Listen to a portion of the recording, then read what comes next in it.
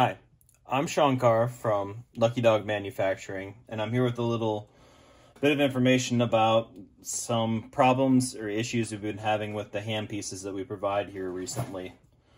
Uh, the supplier of the heads recently switched from a bearing that you'd see on the right to a bushing that you see on the left.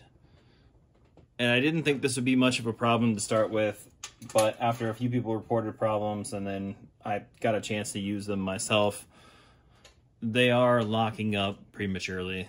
You'll see that they kind of have a tendency to gull up in the shaft.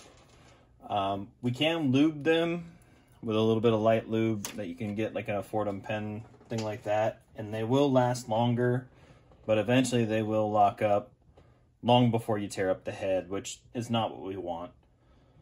So I'm in the middle of finding a new source for the heads that have the lock style that I like.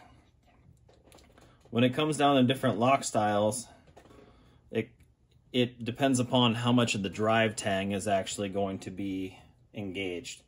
Where you have this iris style where you see how much of the burr is sticking out over the top before the iris is able to engage the lock. So it only drives a small amount of the drive tang. Where the one that I really like to get is this, I would call it a guillotine style.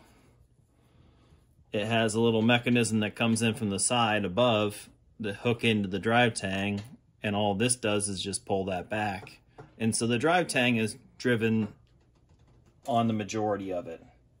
So if you're having problems with the bushing style ones locking up, please contact me and I'll help you source some bearing ones. All new ones for me will come with bearing ones installed. The spare head might have a bushing in it. Just run the bearing until it's dead. After that, I'll probably have a good source of the bearing ones.